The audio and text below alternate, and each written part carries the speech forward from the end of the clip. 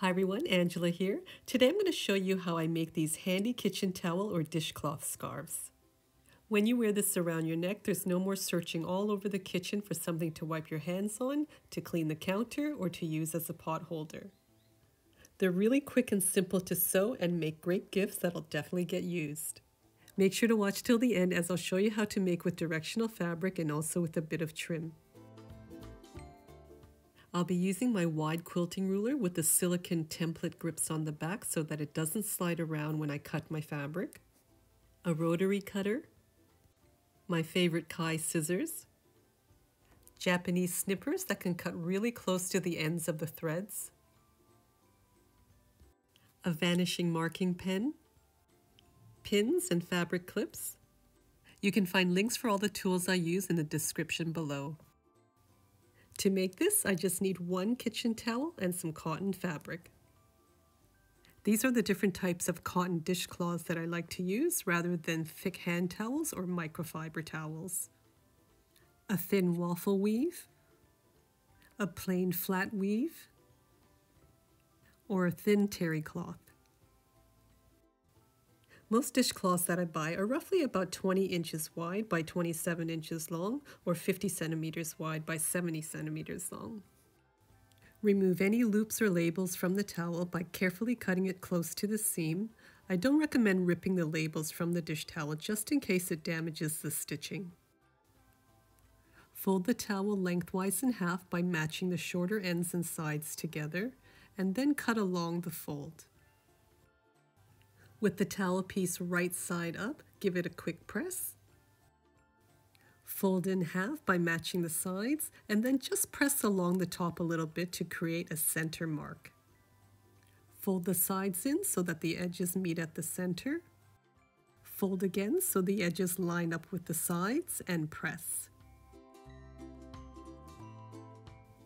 Now grab the top with all the layers and flip it to the wrong side, then fold the sides in to meet at the center. Make sure there isn't a gap at the top, and then give it a press. Now you have nice accordion pleats on each side. Then pin or clip all the layers to hold in place. And then repeat for the other piece.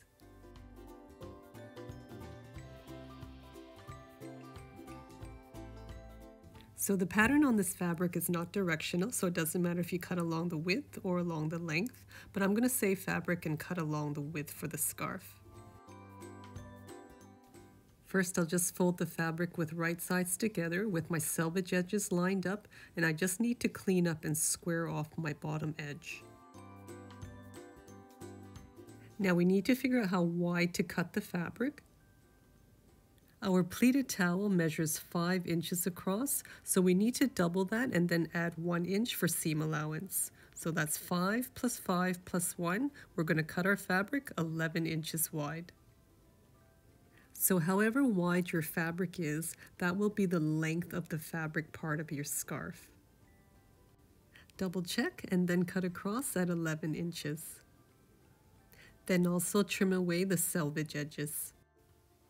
Now lift and fold to match all the long edges together, and then we're just going to cut some notches right in the center of the short sides. Then over at the center of the long sides, we're going to cut notches 2 inches in from the folds. Open up your fabric and we'll head over to the machine. With the fabric right side up, we want to match that center notch to the center of the right side of the towel pin or clip all the layers together if you need to. We're now just going to sew a holding stitch with a 3 8 of an inch seam allowance. There's no need to back tack, making sure to keep those center edges butted close together and there's no space in between.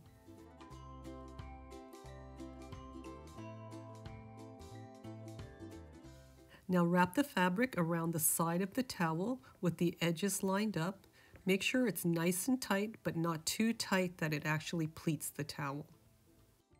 Using 3 eighths of an inch seam allowance again, just sew in about an inch, no need to back tack. This is just to hold the corners in place. Then repeat for all the other corners.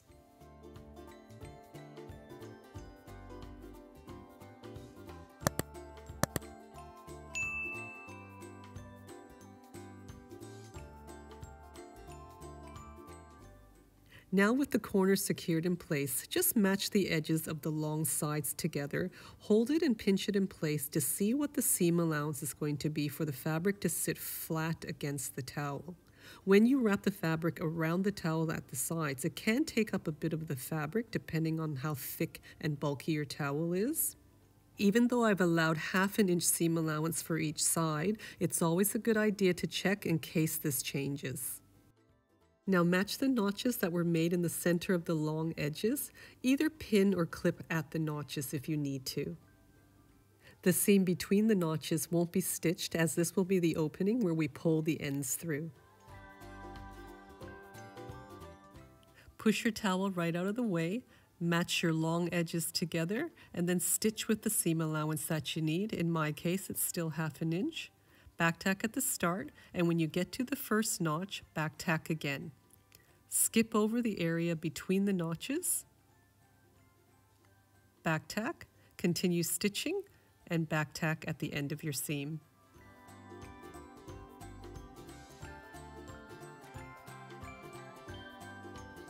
So now everything should fit together nice and flat. Spread open the seam and flip it over. This time stitch across each end with a half inch seam allowance, back tacking at the start and finish. By using a bigger seam allowance, that first row of stitching won't show when you pull the ends through. Now press the entire center seam open flat, being careful not to press the sides of the fabric at all. A little mini iron would be great to press this center seam open. Go in through that center opening and pull out the towel nice and taut. Where the fabric meets the towel, the edge should be nice and smooth because we did that holding stitch around all the corners, and the center seam at the back should line up with the center of all the pleats.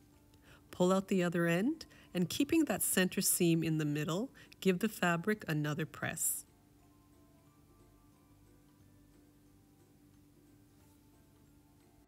Next, we'll do a quarter inch or six millimeter top stitch from the seam on both ends, back tack at the start and finish. If you choose to, you can also top stitch the fabric all along the sides. Now we just have this opening to close. You can do it by hand with needle and thread and slip stitching it, but I'm just going to match the folds together and then edge stitching it closed, back tacking at the start and finish.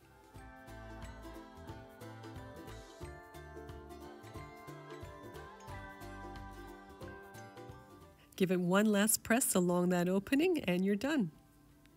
So this scarf ended up being about 69 inches long or 175 centimeters.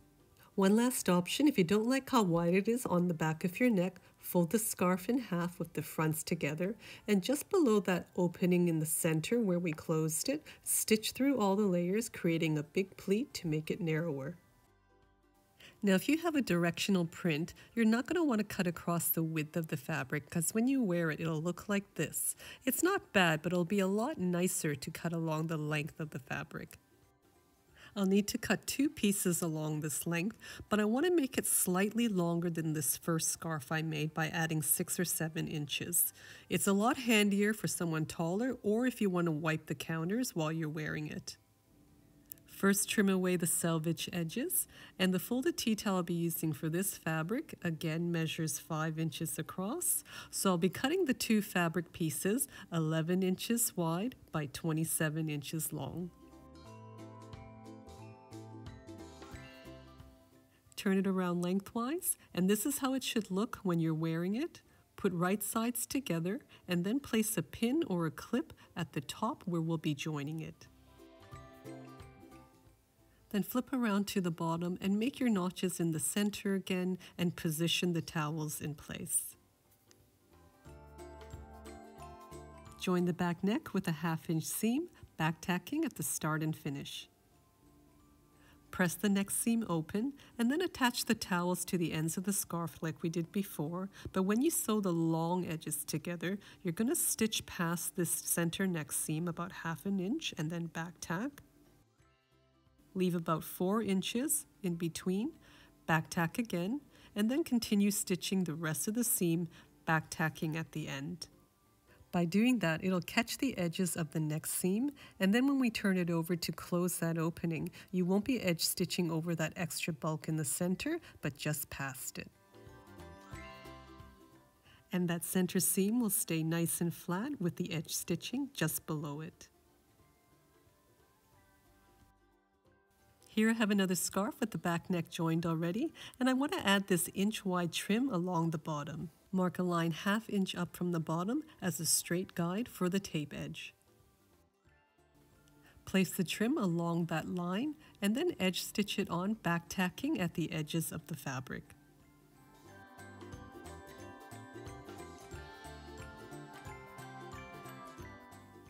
And then cut off any excess trim. Take your pleated towels and stay stitch across the top about half an inch from the edge. I'll have a tutorial for making bowl cozies soon, so if you pair that with one of these, it'll make a great gift set. Fold your fabric right sides together and stitch that center seam closed. Make sure to match the edges of the trim, the center seam at the neck, and back tack at the start and finish.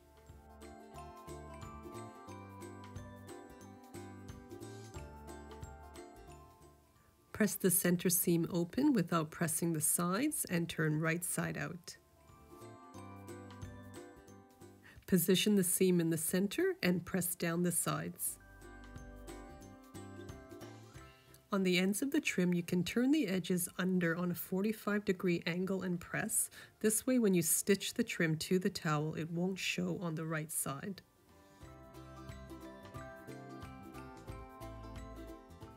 With the fronts of both pieces up, insert the towel into the scarf until the edge of the trim covers that line of stitching. Make sure that the sides of the towel are sitting in nice and flat. Check that everything is sitting nicely underneath as well, and then stitch through all the layers along the edge of the trim, back tacking at the start and finish. Although it's a little early in the year, you can start making these for your holiday gifts. Thanks again for watching, take care, and see you in my next video.